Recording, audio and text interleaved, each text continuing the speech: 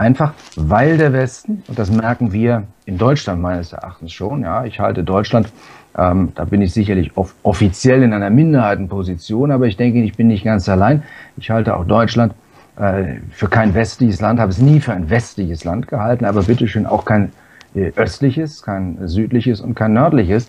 Und äh, wir, wir stehen in Europa vor dem Beginn einer größeren Ausdifferenzierung wieder hin zu, äh, zu, zu nationalen Selbstbewusstsein, zum Selbstbewusstsein einzelner Räume, was sich selbstverständlich auch historisch legitimiert.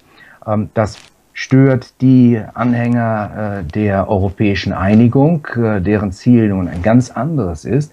Aber ich glaube, dass wir da, äh, dass, dass, sagen wir mal, die Geschichte mir recht geben wird oder denen, die in, in ähnliche Richtung denken, wie ich das gerade geäußert habe.